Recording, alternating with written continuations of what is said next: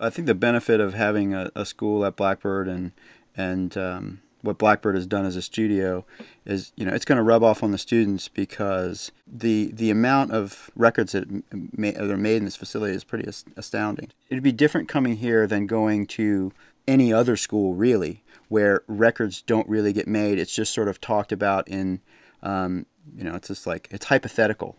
Really, anywhere else, I think it's more hypothetical than actual than actual events taking place. And although you may not be part of them, the the people, the teachers, the staff that you're interacting with are part of it, and you're going to learn like the the real way to do stuff.